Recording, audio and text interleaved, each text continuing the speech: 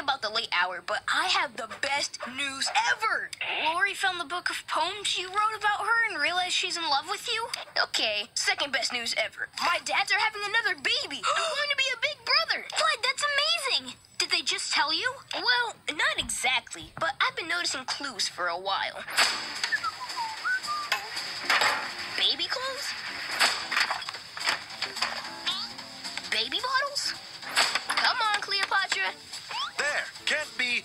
Safe with a little one on the loose. That reminds me, we need to secure loose cables and cover the outlets and lock up the cleaning supplies. So it was pretty clear what was going on, but I wasn't positive until about five minutes ago. Well, Howie, I think our home is ready. But what about our hearts? Do we really have room for another little bundle of joy? Of course we do, Hair Bear. I cannot wait to surprise Clyde.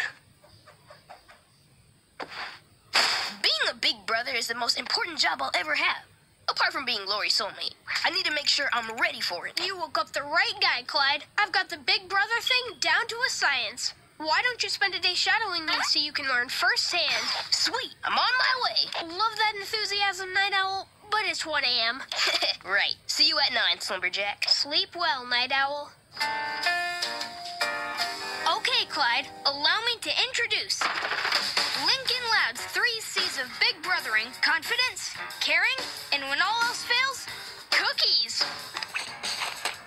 Snickerdoodles, my favorite. Uh uh uh, those aren't for us. Now, time to start my rounds so you can observe the three C's in action. Hear that? First big brother cue of the day. First up, confidence.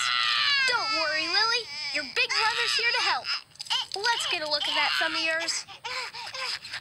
Just what I thought. A boo boo. This calls for caring. Aw, I'm sorry you got such a bad ouchie, but we can make it better. Wow, you didn't even need a cookie. Kiki? Sometimes it's safer to spell.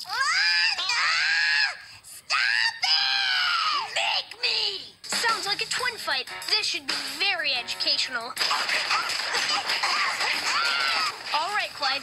What do you think we need here? Um, confidence? What seems to be the problem?